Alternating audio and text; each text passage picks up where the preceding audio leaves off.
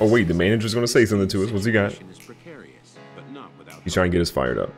We're not dead yet. We got to win and get a little help too. The only part of that you can control is winning. Let's not bury ourselves. Let's take care of business this series.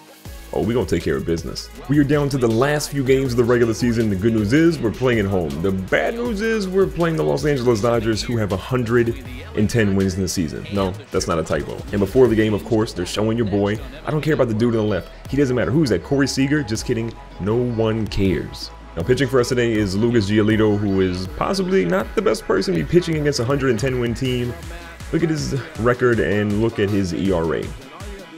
Trash. Now we've got a couple of cool things going for us right now. I have 59 stolen bases in the season, one away from 60, which would definitely be a career high. I mean, we're already at the career high at this point, but I want that 60th stolen base. And coming up to bat is your boy, obviously leading the American League in average home runs and RBIs. A triple crown for the American League, definitely going to get that for the actual whole entire MLB? Probably not because we're 8 RBI shy of the guy who's in first place. But you know what? A couple grand slams here and there and we're probably fine. But we've hit our first one of our careers, so we got to, you know, temper our expectations. So the first pitch is here and that's going to be a deep fly ball.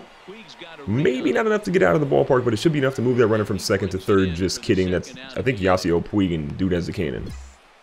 No, he's not going to move. And we do find ourselves fortunate with a 1-0 lead here in the top of the second inning. Runner on first base, one out, and we're chilling here in the field, trying to get the second out of the inning.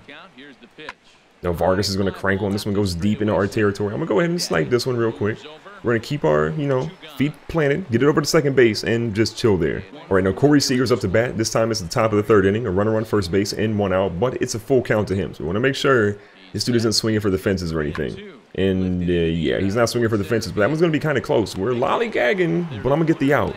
Little nervous on that. Here we come back. 0 for 1. Look, the fly out. You know we do notoriously bad in our first at bat of the ball game. Then we settle down. We get our, you know, emotions in check. And then we're okay. And look, the green booger man, he's ready to get us hyped up. He's getting the crowd hyped up for what's going to be an epic at bat. I'm feeling it. And not much to be epic because there's only a runner on first base and literally no one else is on for us. But still a 1-0 lead and a high fastball that we're not going to swing at. Now for a team that's you know, trying to fight in first place, playing the best team in baseball. Why are there not enough fans in the stands? Like, there's too many empty seats. Where are all of you people at? Why are you not here? So again, one ball, no strikes, runner on first, and one out. This one is literally, I think we hit him in the nuts. I literally think we hit that pitcher in the nuts. How is this man moving? How is he alive? What just happened? Good news for us is a 17 game hitting streak. Bad news for the pitcher is he may never have children. So uh, we're just going to figure out where this ball actually went. So he throws a nice little ball here.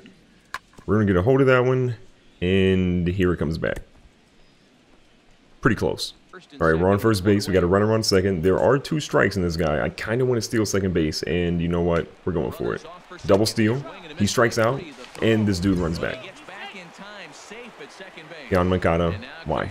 Now, still a 1-0 lead for us here in the top of the fifth inning. Again, nobody on and nobody out for the Dodgers, but could we actually beat the Dodgers? This is kind of crazy. Now he's going to swing. Oh, boy, that's cranked. That is deep. That is way back but not quite to the warning track. It just went super high and not nearly as deep as I thought it was going to go. Now, Yasiel Puig's up in the top of the fifth inning with two outs and literally just one runner on. They've had trouble getting multiple people on bases so far today. And this ball's going to go into Puig. Puig is going to crank one. That one's going to be shallow, though. We're going to race to get to it. We're trying to be fast, and I was closing in. We got it. Wasn't I was never worried. Seriously, never worried. Back up. We got a single early in the third inning. The average is still above 360. We were trying to go for 350 this season. Now we're above 360. There's a chance we could hold this and be okay. Now here we go. Bottom of the sixth inning. I'm gonna try and be a hero and go with my showtime. This ball. Ooh, high fastball. Mm, that's super. That might be the highest ball we've ever hit in our entire career but it's going to be an out in deep right field. Top of the eighth inning now for Yasiel Puig and the Dodgers. He's going to try to do something to change, you know, the way the ball game is working at the moment. Now Puig is going to crank one to deep left field. Just kidding. That's over here. Yo, Mr. Ash, you got it? He does. We're back up. One for three. The single. The Dodgers are a good team. Our average is slowly crumbling back down to 360, but I want to pick it up here. And this would have been a situation to use my showtime, but instead I don't have it. I got two runners on and two outs. We're going to try and go for a normal base hit. Oh, we cranked one to deep right center field. This is going back. Can we get the three-run home run to seal this ball game? We can. That one is deep. That one is out. We did it. 4-1 ball game. And you know, we point to the dugout. We point to the pitcher. That's ours, baby. That is home run number 45. We're going to bow to the third base coach. Very polite here. Very polite. Again, home run number 45 of the season. 410 feet to right center field. What a legend. We are killing it. And that, ladies and gentlemen, is going to seal the deal. The best team in baseball, maybe by the record, but in terms of talent, I think that's going to be us. So despite going 8 and 2 in our last 10 games, it just wasn't enough. The freaking Indians were incredible. They went 9 and 1 in their last 10. They ended up beating us out by a single game to win the division. Even with that happening though, we still ended up getting into the wild card, which is good news for us, but it means we're going to face the Detroit Tigers, a team that we've been pretty good against in the first round of the playoffs. As for my personal stats, I kind of killed it this season. Let's look at how I am so far. I'm a 91 overall. I led the league in batting average, literally a single point below 360 which is frustrating. I had 213 hits, which also led the American League. In terms of doubles, I had 40. Charlie Blackmon, of course, of the Indians, beat me out by 10 runs there. Triples, I led the American League with 12. Home runs, of course, I led both the American League and the National League. Corey Seager had 41 in the National League. I had 45 flexing the muscle. In terms of RBIs, I had 131, which was best in the American League, not best, unfortunately, in the National League, but still, if you discount the American League, I definitely won the American League Triple Crown, but just not the entire MLB Triple Crown. I scored 130 runs. I also had 59 stolen bases, one shy of my goal, which was 60 on the year. My OPS was the best in baseball at 1.089, I believe so, yeah. In the National League, no one was close either there. Chris Sale led all of the MLB with 22 wins on the year. David Price had four losses, which was the league minimum. Uh, Raisel Iglesias had 50 saves along with Scotty Brazill and Aroldis Chapman. All three of those guys killed in the American League, but in the National League, Wade Davis had 53, leading all of Major League Baseball. Your strikeout leaders for the American League were Yu Darvish and then Clayton Kershaw. Yeah, this dude was a monster this season. He was only 15 and 6, which is kind of crazy, but 260 strikeouts is insane. And again, the thing that I'm most proud of is the wins against replacement for batters. I hit a 12.3, which is the highest in the American League. Francisco Lindor had 9.9, and in the National League, Kris Bryant led with a 9.5. So I was the best in baseball. For pitchers, Felix Hernandez was a 6.9, and then the National League 7.1 for Clayton Kershaw. Yeah, the dude killed it. As for the awards, I'm going to walk out of here with the MVP in the American League back-to-back -back seasons. No big deal.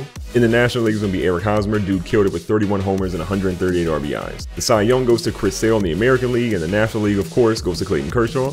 The batting title goes to me, 359, best player in baseball. I've told you that before. The Hank Aaron Award, I'm also taking that home. 2020. Last season was Mike Trout. This season, it's your boy. Again, killed it across the board. The Gold Glove is unfortunately not going to be mine this season for center field. But the good news is that in the outfield, when it comes to Silver Sluggers, I definitely took that home. So you guys can look here at a quick look at what my attributes actually look like. 80 for contact, 74 for contact left, power right is 81, plus 11, uh, power left is going to be 71 plus 11. So all these stats are actually going to be really good. We flipped over here to the fielding side of things.